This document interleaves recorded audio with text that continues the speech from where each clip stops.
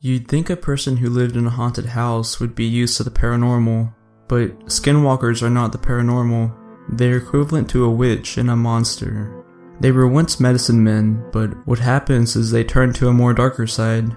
In order to be a skinwalker, they must become a medicine man or already be a medicine man. Then, they have to kill a member of their family. It's just like in The Conjuring, how the lady who had her baby sacrificed it to Satan when it was only 7 years old. I always thought of it like that. Since medicine men are considered holy and healers in the Navajo Nation, skinwalkers can chant curses, use rituals to fatally harm a person. Sometimes they blow powdered bones to a person. That way they can become sick and left untreated and die. They are also known to shapeshift into anything. If you ever drive on the long roads at night on the reservation, many people are scared to look out of the window and fear that they will see a shadow running alongside their vehicle. They are evil. They are real, and I encountered one of their houses. Every year, my mom's side of the family has an annual family campout in Sale Woods on the Navajo reservation. We camp out at my grandpa's sheep camp. The whole camp has a circle clearing, so we are able to set up our tents. That year, I brought along my cousin from my dad's side, Gabby. This was the time I was youthful, energetic, and could run around for hours without feeling like I was dying. At dusk, me and Gabby were playing hide and seek in the woods. It wasn't far out, it was just enough that we could see the campsite still. At the time, I guess I wasn't concerned about danger, because I thought that since my whole family was less than a mile away, they could reach me if I was in danger. As the day got darker, we were ready to head back. When I noticed a light in the clearing, something felt weird, as though the air got heavy. The woods now seemed like it had a gray atmosphere. The trees felt like they had no life, and that the leaves seemed brittle and brown. Everything looked the same, mind you, but I felt as through the woods somehow changed. When I started walking towards light, I came across the house. The structure seemed more as a small hut. Leaning against a big tree, it was facing the opposite of east, which I thought was weird since most houses or hogans have the door facing east, so that it will get hit with the first light of dawn in the morning. The structure was also made of nothing but tree bark and inside seemed to be lined with fur, but there was a little open window where the light was coming from. There seemed to have been drawings in the side of the hut, drawn with black charcoal, me and my cousin paused as we looked at the house, contemplating what to do. I wanted to get closer and face this house because I didn't want to lay awake at night, wondering what it was. As I got closer, my cousin started to have this panic feeling overwhelm her. She kept asking me to leave and run to the campground. I didn't want to, but that was when the light was blown out. At that moment, I realized someone was in there we both ran back to the campground, and I was shaking, constantly looking back. That didn't help because I kept thinking I was seeing a dark shadow hiding among the trees. When we reached the camp area, we told my sister what had happened. She scolded us, saying that there might have been skinwalkers in the woods. Since last week, as my uncle was getting the campground ready, there had been a sighting of a mountain lion walking around the camp. Of course, the next morning I went back to the forest to see if the structure was still there. It wasn't nothing, as though we had imagined the whole thing. I walked around the entire place, staying close to the hiking trail as to not get lost, and I couldn't find anything. When I was a freshman in high school, I met Alex. Now, 10 years later, I couldn't tell you why I was so drawn to him or why I got so attached. He was homely and odd and quite frequently smelled bad. There was a darker undercurrent that ran below his surface, and I thought I saw unspoken sadness that matched mine. And maybe as a naive 15 year old, I had the stereotypical we could save each other from our pain bullshit fantasy.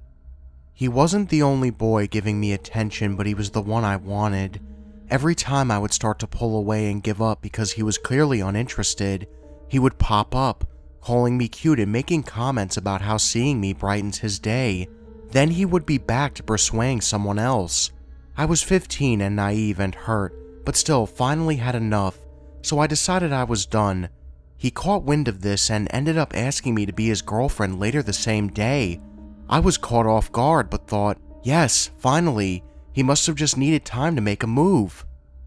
He and I dated for two years, and he was a hurricane the entire time. One example, his phone would be off for days at a time, he rarely went to school, and I just wouldn't hear from him. I would finally call his mom because I was worried about not hearing from him at all for three, four, five days, and she would tell me she hadn't seen him either.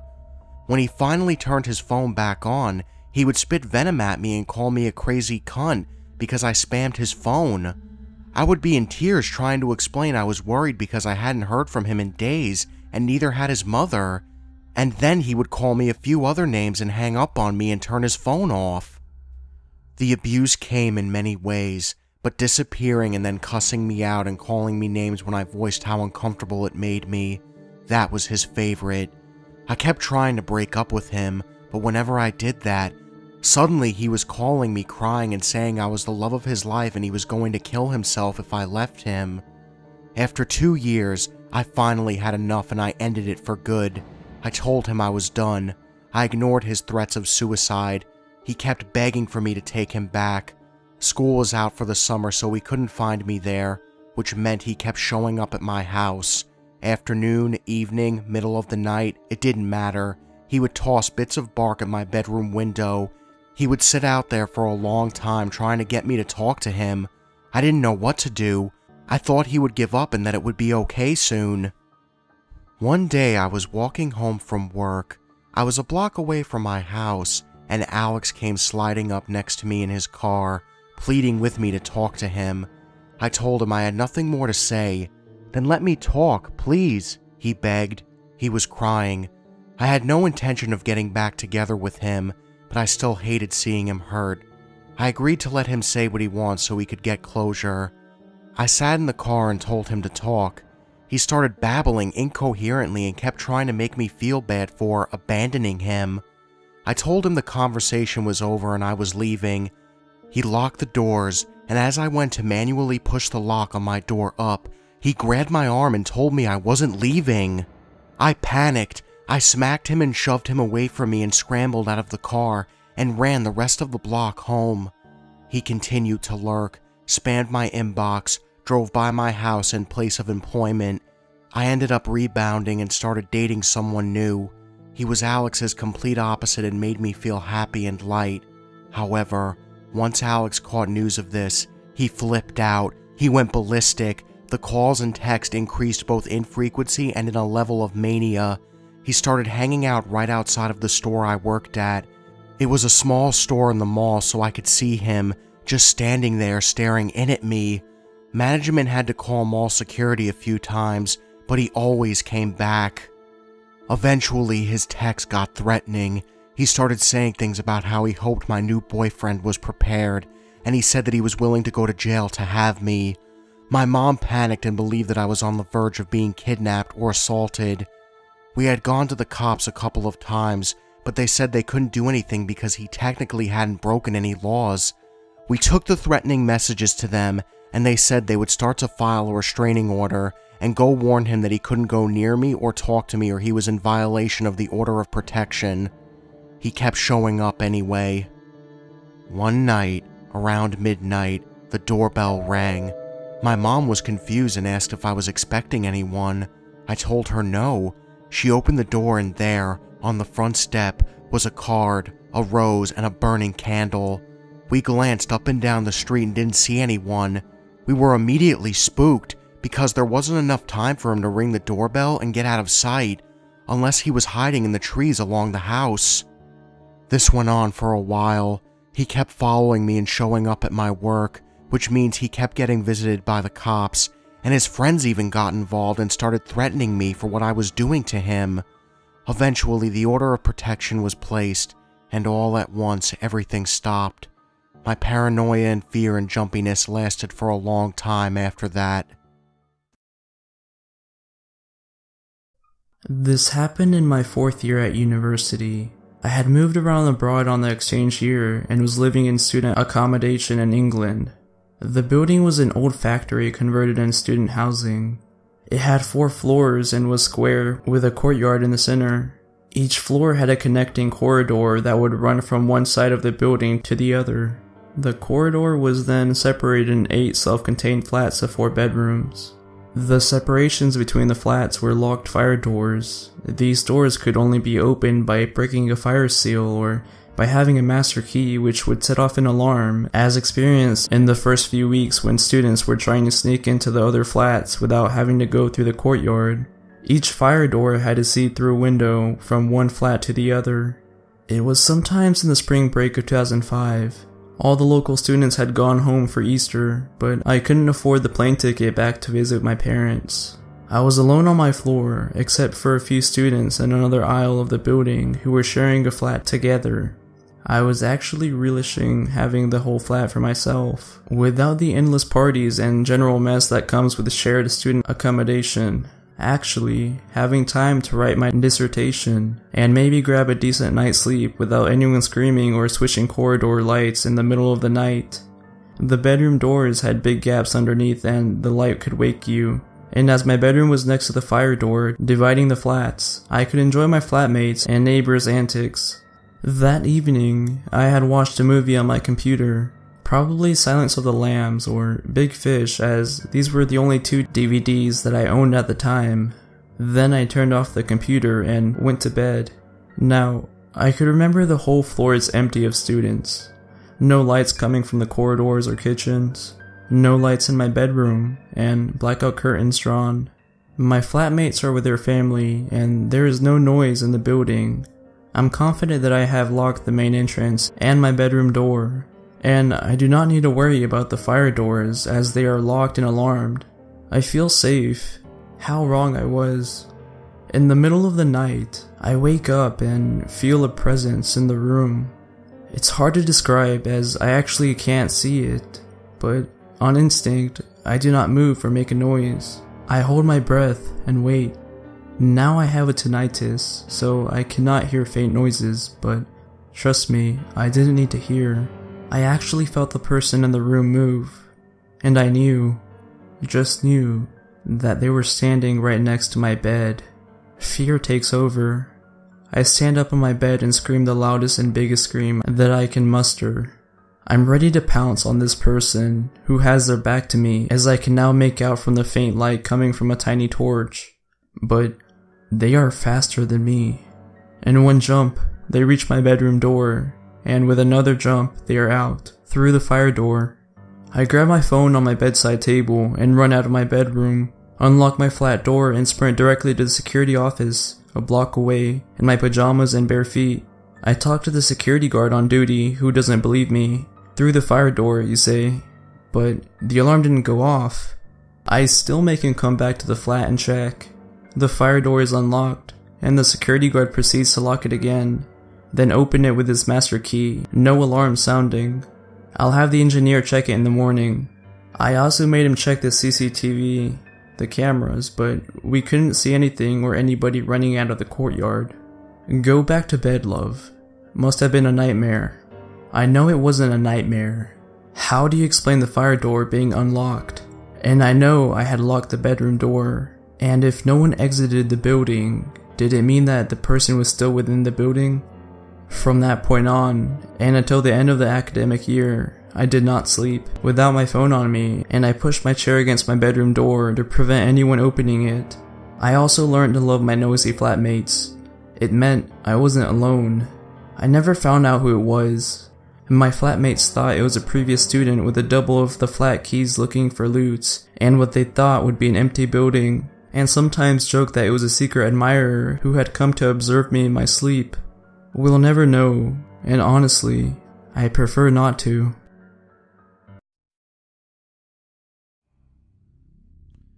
This happened many years ago when I was 14 or 15. Though I and my siblings grew up in Wyoming, my parents are both from Michigan, and we still have a buttload of family on both sides who live there. This land, which is still home to several of my aunts, uncles, and cousins, has always been referred to as the farm, even though we haven't been farmers for a long time. Every other summer, my family would take a trip to Michigan to visit the farm, and my siblings and I were always really excited because we had lots of cousins around our own age to play with, and the parents would just kind of let us run wild all summer. This particular summer, I had met a boy through my cousins that I really liked. We hung out for a few weeks, made out awkwardly a few times, then he promptly broke up with me for another girl. I was absolutely devastated in that totally melodramatic way that only lovesick teenagers can be, and I spent most of the next day crying and moping around and generally annoying my cousins. My cousins decided that something must be done to cheer me up, so they decided that we should grab the tent and some sleeping bags and spend the day in the woods on my family's property. It was a little creepy up there at night, but that was a feature, not a bug, as we were the sort of kids that liked to scare ourselves for fun. Before we headed out into the woods with our gear, my cousin Jill has the bright idea to pop a bag of microwave popcorn to bring along for a snack. The hike into the woods is not a long one, so the popcorn is still pretty hot by the time we set up the tent and dump it from the bag into a big plastic bowl. The first hour or so is pretty uneventful. We were sitting in the tent, telling creepy stories, painting each other's nails. It was like a weird mix of a camping trip and a slumber party. I should probably add that it's mostly my cousins that are doing these things, and I'm mostly sitting on the prairie, feeling sorry for myself because I'm still so upset about this boy. As soon as it got completely dark out, the noises start. It takes us a minute to figure out what it is, and when we do, we are a little alarmed. We had pitched our tent in a clearing next to a battered old fence post that was sticking out of the ground, and the noise we are hearing is a succession of tiny rocks or pebbles striking that fence post. Someone is out there in the woods, throwing rocks at our tent, trying to get our attention. This freaks us out a bit because we are five teenage girls on our own in a tent out in the middle of the woods at night, and it dawns on us how vulnerable we are. My cousins call out, Who's there? and the barrage of pebbles stop for a moment, then resumes. After a few minutes, we decided that the culprit is probably our older boy cousins, who must have followed us into the woods and are just trying to scare us. We all agree that, of course, is the explanation, so if we ignore them, they will get bored and go away. At about this time, I was so emotionally and physically exhausted that I somehow managed to crash out. My cousin stayed up, and that, they later told me, is when things got really weird. The rocks stopped completely, and they started to hear heavy footsteps circling the tent. Whatever was out there was also making strange noises, grunts and groans and growls. One of my cousins finally works up the courage to unzip the tent flap a little and peer out with her flashlight in hand. She sees a dark and very tall shape moving among the trees surrounding the clearing. Whatever it is, it's huge, and she is no longer convinced that it's our boy cousin screwing with us after all. So my cousins, sweet girls that they are, decide to leave me sleeping in the tent while they make a run for it back out of the woods into my aunt's house to get help. They zip the tent flap up carefully behind them, like that is somehow supposed to protect my sleeping self from whatever boogeyman is out there. Then they hightail it out of there. Thanks, bitches. I am awakened about 20 minutes later by Jill shaking me while shouting in my face, Tara, oh my god, Tara, are you okay? I am groggy and annoyed and can't imagine why she is freaking out, but even before I am fully awake, a pungent odor assaults my nostrils. The entire tent reeks of some sort of huge animal. It's difficult to describe, but it almost reminded me of the tiger cage at the zoo. I ask my cousins what that horrible smell is. This upsets them even more. Then one of my other cousins starts screaming, Oh my god, the popcorn! Look at the popcorn! and I am even more confused. It was a few minutes before they had calmed down enough to tell me what happened. Apparently, when they returned to the tent, armed with one of my uncle's shotguns and a couple of baseball bats, they found that the tent flap had been unzipped. They immediately jumped to the conclusion that I had been abducted or murdered by a creeper in the woods. But no, there I am, still snoring away. But the tent reeks like an animal. Dirt has been tracked in, and is all over our sleeping bags.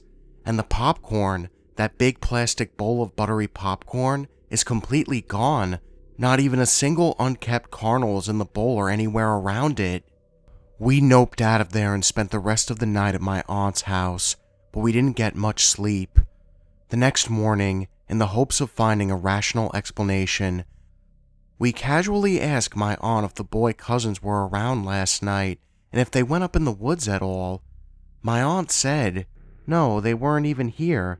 They had all gone to some concert in a nearby town and spent the night with friends. They didn't even arrive home until later that afternoon. I've always been fascinated with paranormal phenomena, so it really chaps my ass that probably the closest I've ever came to literally touching something otherworldly, I was passed out cold. Some unidentified creature sat next to me in the tent eating popcorn, and I literally slept right through it. And all because I was upset about some douchebag boy. So I guess the moral of the story is don't dwell too much on the past, because it just might cause you to miss out on some really interesting stuff that is going on in the present. I never told anyone this story before. I guess you could say it's one of my deepest, darkest secrets, and that ugly skeleton in my closet. The story takes place around nine years ago, when I was six years old. My parents divorced when I was very young, and of course, separated. I live with my mother and visit my father on vacations, especially summer vacation. Some background about where my father lives. Please, bear with me.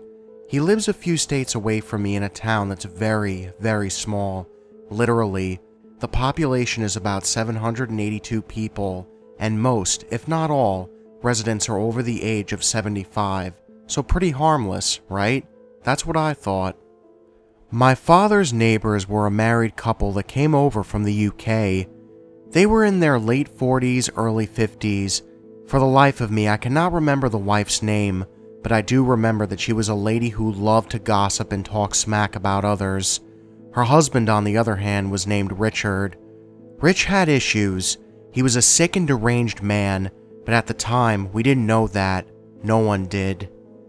Everyone in town kind of brushed the couple off, they weren't unnoticeable, but they also weren't in the spotlight. They were just there.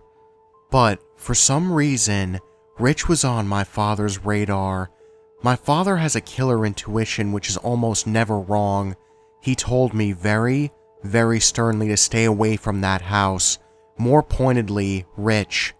This struck me as odd because my father was hardly a serious man. He's extremely happy-go-lucky, witty, always cracking jokes and just a delight to be around. But I was only six years old and very naive. Not listening to him was my first mistake. Because the town was so small, everyone knew each other. There was no worry for my dad to allow me to get on my Barbie scooter and ride to the church and back. The church is not far at all, it's about five houses down. Additionally, everyone was friends with my dad and knew about me being his daughter. Along with him, I was relatively liked as well. Seeing me go up and down the sidewalk to the church and back to my dad's house was not a rare sight. I essentially did it every day, and my father always told me if I ever ran into trouble, just holler and he'd come running. The only problem with riding was I had to pass Rich's house going to the church and coming back. This was mistake number two. Now, please believe me when I say I don't remember quite how all this happened. I was six, and deep down I feel I've suppressed this incident to the point where I've forgotten certain details. Rich was outside of his house, sitting on his patio. Thinking back now, I believe he'd been waiting for me to pass by. He somehow coaxed me into his house. I think Rich had promised me that I could pet his dog or that he had cookies or something. Me being seriously naive and trusting everyone in town, and just in general idiotic, I foolishly trusted him. That was mistake number three. I should address right here and now that yes, I was taught about stranger danger and everything like that. I shouldn't have gone in, I know. I regret it every day. I was also taught early on about what areas my body no one was allowed to touch, and if someone did, I was supposed to run away immediately and if that wasn't an option, call for help. Anyways, as soon as I entered his home I felt an unpleasant sensation overcome me, but I stupidly shook it off. Another red flag was the fact that when his wife laid eyes on me, she swiftly turned the other way and left the room, going upstairs. I didn't think much of it because I was taking in the scenery of his home and noticed he had bugs in his glass cases. Besides being a certified asshole, I suppose he was also a taxidermist. I'd never seen anything like it before and inquired about it, and then everything happened so fast. He'd pulled up a chair and made me sit in his lap. I was growing uncomfortable and didn't know how to excuse myself without being rude, and then his grubby hand began rubbing my thigh to the point where he'd lifted up my shorts and commented on the color of my underwear. Even though it's been nine years, I could still recall that part because I would later throw them out.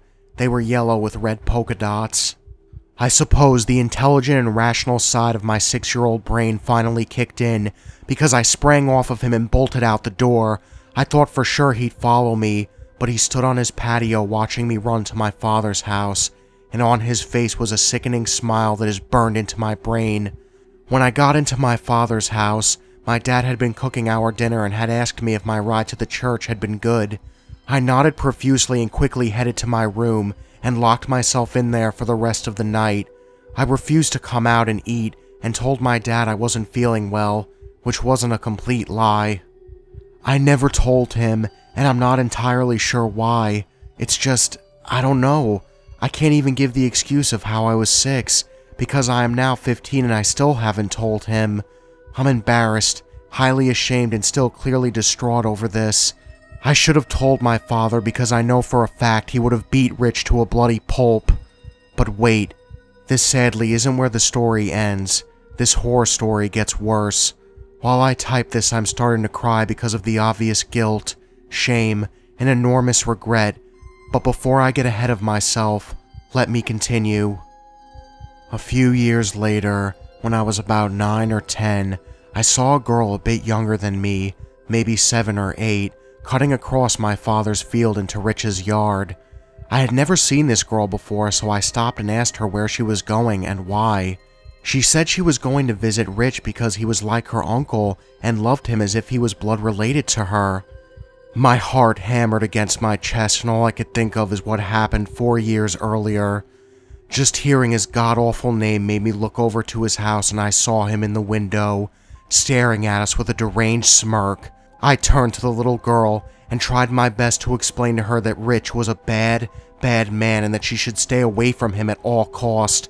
I desperately tried to explain he was dangerous, but she said he couldn't be because he was so nice to her. This little girl wouldn't have any of it and kept insisting that she loved him and he was her uncle. I didn't know what to do. I was stuck. I couldn't explain the concept of being touched inappropriately to a little girl who wouldn't understand it or accept it. And I couldn't tell my dad because I didn't want him to know about what happened with me and Rich. I told her once more, very sternly, that he was a bad man, she should go home and never go back, but she refused to listen. Looking back now, I should have figured out her address, grabbed her hand, and walked her home. If I had a second chance, I would have brought her to her mother and I would have explained to her mother that Rich is a pervert. But I was still so young, naive, and in denial. I think about this almost every day and live in constant regret and guilt because I later found out the next summer that Rich had raped that little girl. That little girl and her mother had been new in town. After Rich had raped her, they instantly moved out.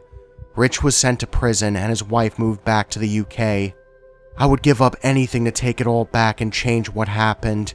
I would give any amount of money, any of my organs, years off my life, or just my life in general just to go back and make things right. I royally fucked up, big time, and it costed a little girl her innocence because I wasn't smart enough to do something. I couldn't overcome my own personal problems, which can't even compare to her in the slightest, and help her. I carry this burden, guilt, and shame with me every day, and the saddest part is, I can't even remember that poor little girl's name. So please, take the time out to educate your children, your nieces, nephews, your neighbors, the children you babysit, the children you teach, the dangers of strangers, places they should never be touched by a stranger, and for the love of everything, to always, always, always report anything. The five minutes it takes to explain these concepts could seriously change the world. It could save a child a lifetime of pain. So rich. Let us never, ever, ever meet again. Even though I didn't want to disclose where my father lives, I wanted people to know that Rich is serving a mandatory 15 years in prison, but the time can and most likely will be more because there were other little girls he touched inappropriately. Here are some articles for those who are interested. Also, thank you to everyone that posted. At the current time, I'm still not comfortable with telling anyone, and maybe one day I will be, and I don't think I really need therapy. I've always been a strong person, and even if I was to get therapy, I'd feel terrible burdening my mother because she'd have to pay for it. But seriously, thank you guys. I really needed to get this out there, and the responses have been so uplifting. But I think I'll always hold myself responsible, even if it wasn't my fault. Hey guys, thank you all for watching, and if you enjoyed this video, make sure you hit that subscribe button and join the Nightmare Army. I'm always looking for new soldiers in my Nightmare Nation. So, of course, I want to give Muffin Moon a big thank you for helping me out with this video. Thank you so much, man. And if you guys haven't, please check out Muffin Moon's channel. I definitely think you guys will like him. So anyways, guys, how's everybody's day been? My day has consisted of editing an American Horror Story. I'm watching season 4 at the moment, and I'm not gonna lie, this is probably one of the most I don't know, this season just really isn't. There's so much shit going on. I mean, I love the first season. I love the second season even more. Third season was good, but eh. Fourth season, it's just like, okay, what's going on now? I haven't seen Hotel yet, but uh, I've heard nothing but bad things. A lot of bad things. What do you guys think about American Horror Story? And uh, what's your favorite season in American Horror Story? Let me know down below in the comments, and I hope you guys enjoy the video. As always, guys, thank you all for watching, and just remember, the best ideas always come out of nightmares.